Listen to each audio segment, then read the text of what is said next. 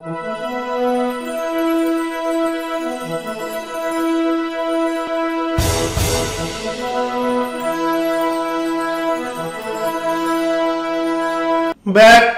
Again আসসালামু আলাইকুম আমি রুহুল আমিন টেকটেলিজেন্ট চ্যানেলে আপনাদের সবাইকে আন্তরিক অভিনন্দন। আজ আমি আলোচনা করব আপনাদের সাদের স্মার্টফোন বা কম্পিউটারের সাথে ব্লুটুথ স্পিকার কানেক্ট করবেন কীভাবে সেই সম্পর্কে। বন্ধুরা, আপনারা আপনাদের সাধের স্মার্টফোন বা কম্পিউটারের সাথে ব্লুটুথ স্পিকার কীভাবে কানেক্ট করবেন সেই সম্পর্কে আজ আমরা আলোচনা করব। তো চলুন, জেনে নেওয়া যাক কম্পিউটার বা স্মার্টফোনের সাথে ব্লুটুথ স্পিকার কীভাবে কানেক্ট করতে হয়। বিগত কয়েক বছরে অডিও টেকনোলজিতে এসেছে এক যুগান্তকারী বিপ্লব। সমগ্র বিশ্ব জুড়ে অডিও টেকনোলজি আজ উন্নতির শীর্ষ শিখরে। এর ফলে বড় স্পিকার বাজার থেকে সরে গিয়ে তার জায়গা করে নিয়েছে ছোট ছোট স্পিকারগুলি, অর্থাৎ মিনি স্পিকার, ব্লুটুথ বা এনএফসির মতো টেকনোলজি এই ছোট্ট স্পিকারগুলিকে জনপ্রিয় করেছে দারুণভাবে। সমগ্র বিশ্বের মানুষের কাছে এগুলো আজকের দিনের গান শোনার অন্যতম হাতিয়ার। কিন্তু এই স্পিকারগুলি সহজেই স্মার্টফোনের সাথে কানেক্ট করা গেলেও কম্পিউটারের সাথে কানেক্ট করতে একটু অসুবিধার সম্মুখীন হতে হয়। কিন্তু পুরোপুরি যে অসম্ভব তা নয়, কম্পিউটারের সাথে ব্লুটুথ স্পিকার কানেক্ট করার নিয়মটা একটু ভিন্ন। সেটাকে ঠিক ঠিকভাবে করতে পারলেই আপনার কম্পিউটারে থাকা সমস্ত এমপি থ্রি গানগুলো আপনি অনায়াসে ব্লুটুথ স্পিকারের মাধ্যমে শুনতে পারবেন মনের সুখে। এখন দেখব কি করবেন আপনারা। দুটি ডিভাইসেই ব্লুটুথ কানেক্টিভিটি থাকতে হবে। এটা কিন্তু অপরিহার্য। ব্লুটুথ কানেক্টিভিটি না থাকলে আপনি ব্লুটুথ স্পিকার কানেক্ট করবেন কীভাবে? আপনারা তো সবাই জানেন স্মার্টফোনে ব্লুটুথ কানেক্টিভিটি অবশ্যই থাকে। কম্পিউটারের ক্ষেত্রে এটা অনেক ক্ষেত্রেই থাকে না, সেজন্য আপনাকে একটা ছোট্ট ডিভাইস ওখানে, অর্থাৎ ব্লুটুথ ডিভাইস কানেক্ট করে নিতে হবে। দুটি ডিভাইসে ব্লুটুথ কানেক্টিভিটি থাকলেই আপনি অনায়াসে এই দুটো ডিভাইসকে একে অপরের সঙ্গে কানেক্ট করতে পারবেন।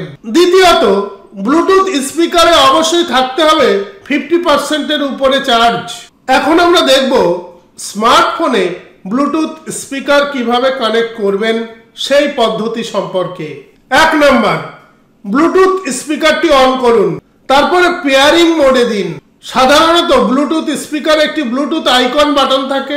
এই বাটন লং প্রেস করলে ব্লুটুথ স্পিকার পেয়ারিং মোডে যায়। দু নম্বর, এবার স্মার্টফোনে সেটিংয়ে গিয়ে ব্লুটুথ সিলেক্ট করুন। তিন নম্বর, এখানে নতুন ব্লুটুথ ডিভাইস স্ক্যান করুন। এর ফলে আপনার চারিপাশে থাকা যে সমস্ত ব্লুটুথ ডিভাইসগুলি রয়েছে তার সমস্ত তালিকাটা আপনি আপনার স্মার্টফোনে দেখতে পাবেন। চার নাম্বার, এখান থেকে আপনার নিজের ব্লুটুথ স্পিকারের নামটি দেখতে হবে, অর্থাৎ খুঁজে নিতে হবে এবং তার উপরে ট্যাপ করে পেয়ার সিলেক্ট করুন। পাঁচ নাম্বার, এবার আপনার ব্লুটুথ স্পিকার স্মার্টফোনের সাথে অত্যন্ত সহজভাবেই কানেক্ট হয়ে যাবে। কানেক্ট হলে ব্লুটুথ স্পিকারে একটি নির্দিষ্ট আওয়াজের মাধ্যমে তার জানানো দিয়ে দেবে। এছাড়াও শুধুমাত্র প্রথমবার কানেক্ট করার সময় এই পদ্ধতি ফলো করতে হবে। পরের বার থেকে যদি স্পিকার অন থাকে এবং ফোনের ব্লুটুথ অন থাকে, তাহলে নিজে থেকেই ফোনের সাথে ব্লুটুথ স্পিকার কানেক্ট হয়ে যাবে। এর জন্য আলাদা করে কানেক্টিভিটির নির্দিষ্ট পদ্ধতিগুলো অনুসরণ করতে হবে না। এখন দেখাবো কম্পিউটারের সাথে ব্লুটুথ স্পিকার কানেক্ট করবেন কীভাবে। এক নম্বর ব্লুটুথ স্পিকার অন করে আবার সেই আপনাকে পেয়ারিং মোডে যেতে হবে। সাধারণত ব্লুটুথ স্পিকারে একটি ব্লুটুথ আইকন বাটন থাকবে। এই বাটনটি লং প্রেস করলে ব্লুটুথ স্পিকার পেয়ারিং মোডে যায়। এটা আমি আগেই বলেছি, আবার একবার স্মরণ করিয়ে দিলাম। দু নম্বর কম্পিউটারের সেটিংস অপশানে আপনাকে যেতে হবে। সেটিংসটা ওপেন করুন এবং এখান থেকে ডিভাইস সিলেক্ট করুন। এই ডিভাইস অপশানে ক্লিক করলেই আপনার ডিভাইসের নাম এখানে দেখাবে এবং সেই ডিভাইসটিকে আপনাকে সিলেক্ট করতে হবে। তিন নাম্বার এখানে ব্লুটুথ অ্যান্ড আদার ডিভাইসেস এই অপশনটিকে সিলেক্ট করে দিন।